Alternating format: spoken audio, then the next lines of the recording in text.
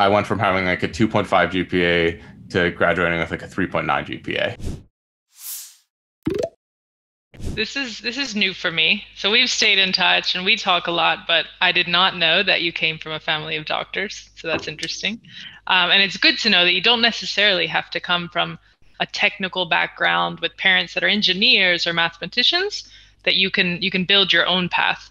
So then if if your parents and your family were were all doctors, what drew you to this field? I mean, how did you first get into analytics?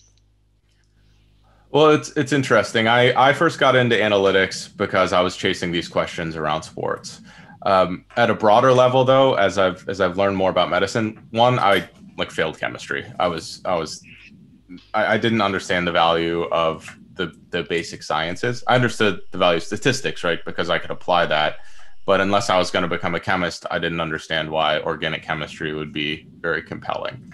I also have seen later in life, though, that you know in medicine you can help an individual patient at a time. You know your your your work doesn't necessarily scale. You can only see a certain number of patients in a day, a certain number of patients in a year, whatever that might be. As a data scientist, as a business person, you can make a product or, or you can create a service or do something like that that you only have to make once and it can touch the lives of millions of people potentially. And the idea of scalability to me is something I picked up in, in business school, but it was also something that was completely novel. And I was like, well, I could do so much more good if I created one really good thing and share it with a lot of people rather than sharing my time individually. There's a cap to how much value I could create there. So that was something that a, a switch kind of came on in my head and it's like, well, what types of fields allow me to do that? And the first was uh, essentially like business and computer science because if I have the business knowledge, I can like get revenue for the you know get uh, get investment for the product and, and a bunch of other things. In computer science, I can actually build the product, whatever it might be, whether it's a medical device or anything along those lines. Um, I mean, that's kind of how I rationalized, at least to myself and my parents, that I wasn't going to become a doctor. But um, the, the the real story of how I got into analytics to begin with is just super selfish. Me trying to get better at golf or get better at sports. I realized that you know from a young age I wanted to play professional sports. At first it was baseball, and then I hurt my shoulder, and then from then on it was it was golf. And I, I got to a point uh, all I cared about in high school was was just playing golf. I got terrible grades. I somehow got into college barely, um, but it was in my my third year of college that I took an economics course, and when I took that economics course, you know, you're, you're looking at uh, understanding the world through trends and graphs, and you learn the idea of first like central tendency, mean standard deviation mode, whatever those types of things are. But you in economics, you also learn about opportunity cost and marginal returns. And to me, that clicked right with my golf game is that, hey, there's a bunch of different areas where I can practice. So I can practice my putting, my chipping, my driving, or my iron play. And some of them I'm going to get a lot better at if, if I invest just any time.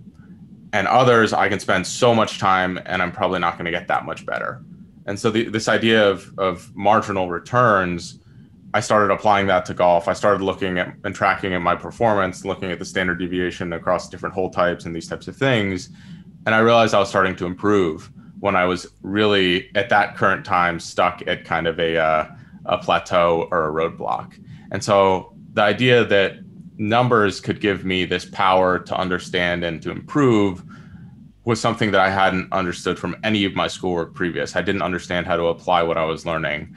And then I just I wouldn't say I went crazy, but I caught fire and I realized, oh my goodness, I can apply this to so many other things. And you know, I think that there was a turning point. Basically, that year, I transferred schools, and I went from having like a 2.5 GPA to graduating with like a 3.9 GPA.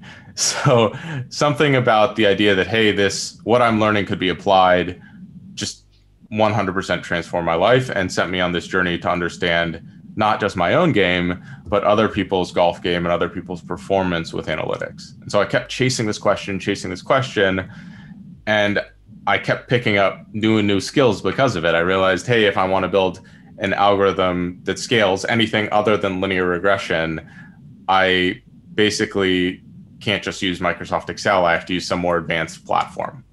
And then so, well, if I want to use more advanced tools, I probably should learn coding. If I want to be able to collect data that's really cool, I should also learn this coding thing.